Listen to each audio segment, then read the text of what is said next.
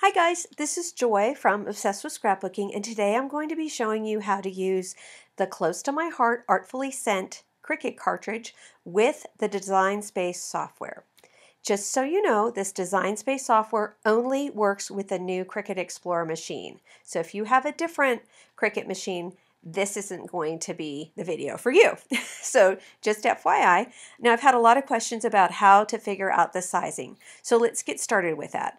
I'm going to go over here to insert images and um, let me go back here. I went to my image sets, I typed in artfully sent and I came up with this and here's my artfully sent cartridge. I click on that and here come my images. I just wanted to show you guys that because I had already done that. This is like take three of this video. So, oh my, right? Okie dokie. I'm so easily amused. I don't know. I know I'm kind of silly. All right, now let's take a look at this cartridge. There are a number of different card styles on here. These cards right here are pocket cards and they go in the different pockets. They can also be Project Life cards. You can do a lot of things with these cards. Very cute. These next cards are swing cards. They're always the teal cards. Let's take a look at these swing cards. I'm going to scroll down real quick to make sure they work just the way I want to tell you how they work. And they do. Yay! Okay, let's pull one of these swing cards up. How about this Bunny Rabbit Easter one? Okay, and we're going to insert that. First thing we need to do is go to the edit, and we're going to have to resize this. Now, when I look in my handbook for the swing card, I it shows me to size it at 7 inches. And that works perfectly. 7 inches high, and then it's going to be 10 inches wide, so that actually gives you a 7 inch by 5 inch card when you fold it. So all these swing cards just have to be sized at 7 inches. Easy peasy, right? That's one of the easiest ones. okay, now, and that's all these teal color cards. So we're going to delete this and go back to insert images and scroll down. So all these guys are seven inches, just like it says in the handbook. Okay, and now we come to the pop-up cards. Okay, and there's two styles of pop-up cards. There's the vertical style, and then this is the horizontal style. So let's take a look at the vertical style first. Let's insert that. This is like a cake with an owl on it. He comes in again at the smaller size. And we're going to change Mr. Cake with the Owl in it to height of 7 inches. That's going to give us a height of 7 inches. And then look at this width right here. The width is just about 10, so that's going to give you a 5 by 7 card, right? Awesome. Okay, and these are the vertical pop-up cards. Now let's pull up our horizontal cards. This is where it takes a turn, you guys. I hate to say it, it takes a bad turn here. It doesn't really take a bad turn. You just have to know this is going to happen. We're going to pull up this Joy card. Okay, and we're going to resize this. Now, in the handbook, when I look at this kind of card, it wants me to size this at, let's find it, um, for oh, I'm sorry, five inches. But let's see what happens when I size it at five inches. This isn't good because what I'm going to get is a really small card. It's going to be five inches by three and a half, and that really turns into be two and a half by three and a half when you fold it. That's no bueno, right? No good. No good. So, best thing to do here, put my height at 10 inches. When I put my height at 10 inches, I end up with a 10 by 7 inch card, which is just what I want. Perfect, right? Or, I mean, I'm, i said a 10 by 7, but I really mean a 5 by 7 because remember, we fold this in half. So, all these horizontal cards, you want to set them at 10 inches. Now, you may ask me, Joy, how do you know that you're supposed to do this? Well, I know that almost every card on here is supposed to come out at 5 by 7. So since I have that secret knowledge, if you will, that's how I know how to figure this out. They're every one of them except for one, and I'll be going over that one, is supposed to come out at 5 by 7 So that's how I kind of figured that out. Okay, so let's move on. Moving on, so we've handled our horizontal and our vertical pop-up cards. Now we're going to scroll down some more. Fortunately, they're all grouped together, and they're all these um, like light pink cards. And now The system's thinking. And now we get to these hot pink cards. And these hot pink cards, I want to say they're all vertical. Let's scroll and make sure I'm telling the truth here. I believe I am, but let's take a look. Let's pull up this butterfly one. In the meantime, yeah, they're all vertical. So what this means, here's my, my butterfly. So cute, right? I'm going to size that. In the book, it tells me to size it at 7 inches. And yay, that works because look, I've got 7 inches high by 10 inches wide, which is really a 7 by 5, you know, 5 by 7 card. Okay? Easy peasy. That's the hot pink cards. Size it at height of 7. Okay, moving on. I'm trying to do this fast because it's not, you know, the most super exciting thing you ever saw. okay, maybe if you're nice, you might tell me that, but I don't know. These are the pocket cards. They they're really good for putting like gift cards in and things like that. So let's pull up this cupcake sleeve one. In the book, it says to size this at six inches. So let's size this at six inches and see what happens. When I size it at a height of six inches, I get a width of 8.12, approximately eight. So I'm going to get a four by six um, little sleeve here, which is perfect. That's what they want you to size it at. Now, I do want to tell you guys, you aren't constrained by this. If you want this larger, well, you just pull it out and go to it. you know what I mean? You just drag the handles. You can change the height, the whole thing. You do not have to be constrained by what they say here, but that is what they have recommended you to do. Okay, so just know you're always free to do what you want, but if you want to cut it as they intended, then you would do it like this. Okay, so let's go ahead, and that is just as is written in the book, six inches. No, no funny business there. Not a bit of funny business. Now you can see here that this is supposed to have a card inside it, right? There's supposed to be a card that slides in here. And we don't see a card, do we? Let's cover where we find our card. Back up at the tippity top. Here are our cards. Now, I don't know why they're these colors. I don't know, but this 4 by 6 one would be the one you want to insert into your pocket card. Now I look at this and I go, oh man, this isn't the right, why is nothing the right size? you know what I'm saying? Now we're just, seriously, we're going to size this at 4. Whoops, not 5, 4. And then it's 4 by 6. I'm going to rotate it so you can see if it's going to slidey slide. Come on. Okay, and then, um, oh, wow, and it's too big. Ah! oh. Okay, let's try to size this. We're going to now size this at a height of 3. Oh, that's not the right size either. Okay, how about a height of 3.5? Well, that'll be perfect. okay, so when you want to go ahead and do this, it's recommended in the book at four inches, and some of that's for Project Life. Um, in this case, to go ahead and put it in this pocket card, you would want to size it at three and a half.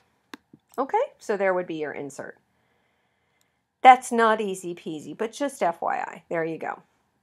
And again, very simple to you could always just pull this up and size it pulling the handles and see what you think or whatnot. All right, let's move on.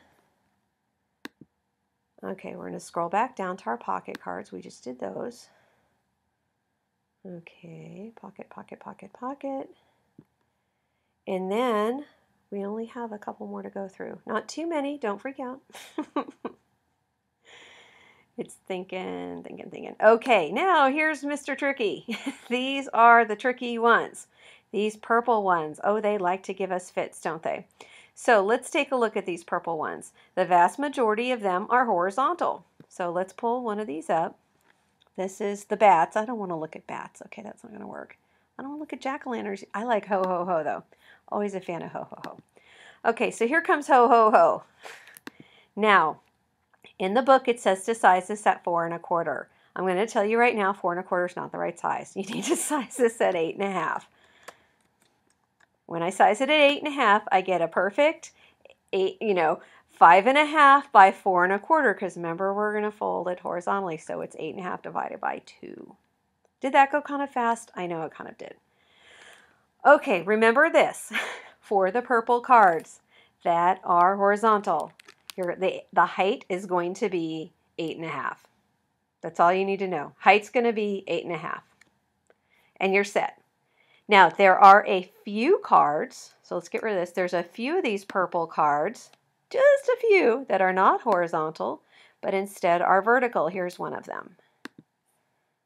Okay. When you have the vertical one and you want to make a four and a quarter by five and a half inch card, you are going to size this vertical one at 5.5. Then you get the 5.5 and the width is eight and a half basically. So that's to be four and a quarter this way and five and a half this way. Okay, so on those, you, on these vertical purple, you would size it at five and a half. Now I'm looking through my book to try to see if they tell you that, but it, there's like two of these that look like this, so I'm having trouble finding it. Hang on, hang on, hang on. I'm so sorry. I am not better prepared, but there you go. Okay, come on. Oh, here's one. Now, in the book, conveniently, it does tell you the correct size, which is five and a half on these vertical ones. So you won't have to worry about this so much. Okie dokie, moving onward. Onward, onward, not too many more. Here are our friends, the yellow ones. Now, on these, um, let's do, what does this one say? Oh, this angel's beautiful. Okay, let's do the angel one. Now, on our angel one, in the book, it tells me to size this at 7 inches. I size it at 7 inches. That's perfect. I'm going to get 7 inches a 5 by 7 card, essentially. 7 inches by 10, which is what I want. So, size it at 7 inches. These vertical yellow, 7 inches. Okay, now we've got a couple of these that are horizontal. Let's pull these up and take a, whoops, I got to get them in there take a peek here. Okay, this says warm winter wishes. Now on these horizontal ones, I want to make I want to see what they tell us first. They tell us to size it at five inches. When I do that, I'm to get the wrong size. I'm pretty darn sure. Yep, to get the wrong size. I need to size this at 10 inches.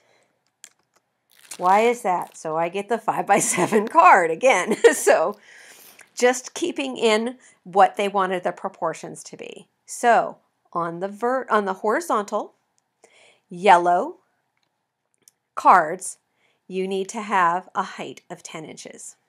Horizontal, yellow, height 10 inches. Okay?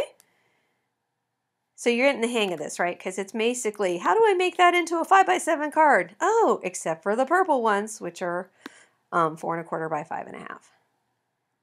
And I think that is everything. Now, Part two that people wondered about was wait, let me make sure. Oh, then we have our envelopes. Dear God, dear Lord. Okay, so the envelopes. I'm just going to tell you the secret. For the 5 by seven ones, I found it that you should set it at 11 and a half. And for the 4 and a quarter, I found that you should set it at, um, well, they call it 4 by 6, that you should set it at 10 and a half. So or really 10 and a quarter, 10 and a quarter to 10 and a half.